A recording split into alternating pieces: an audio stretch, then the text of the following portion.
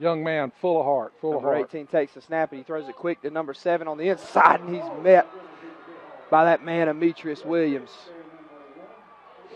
He's making his presence known tonight too. He's he is uh, struggling with the flu, but Demetrius with a big hit. He's done that all year for us.